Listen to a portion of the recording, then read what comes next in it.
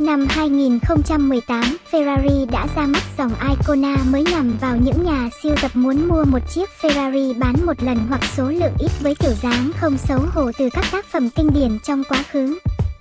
Đầu tiên trong loạt xe là những chiếc xe Monza SP1 và Monza SP2 dựa trên 812, lấy cảm hứng từ những chiếc Mercedes đua sớm như 750 Monza và 860 Monza của những năm 1950. Thành viên tiếp theo trong series có tên mã F251 dự kiến sẽ được tiết lộ vào tháng 11 và theo diễn đàn bàn tán, nguồn cảm hứng cho chiếc xe là 330 P4 từ năm 1967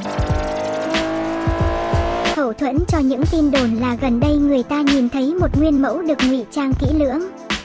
Đang thử nghiệm gần trụ sở Maranello của Ferrari. Các bức ảnh về nguyên mẫu được đăng lên Twitter bởi người dùng Enbader Jensen có các đặc điểm thiết kế được chia sẻ với một số phiên bản của 330 P4 như gương chiếu hậu gắn chắn bùn, thân xe tròn trịa và đuôi rộng như nêm. Có thể F251 là chiếc xe bí ẩn mà chúng tôi đã phát hiện vào tháng 3, sử dụng thân xe La Ferrari tạm thời để che giấu các thợ cơ khí của nó. Một số chi tiết của người thử nghiệm trước đó, như bánh xe và đầu ống xả gắn trên cao, khớp với nguyên mẫu được hiển thị ở trên.